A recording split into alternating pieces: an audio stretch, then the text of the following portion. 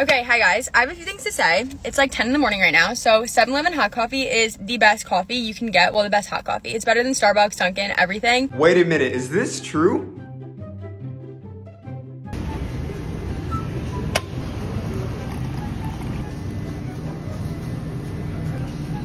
Okay, does 7-Eleven have the best coffee? Let's find out.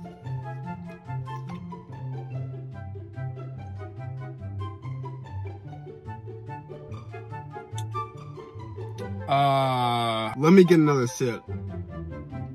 Okay. I mean, I'm not gonna lie, it's better than I thought. It's actually really good. Starbucks.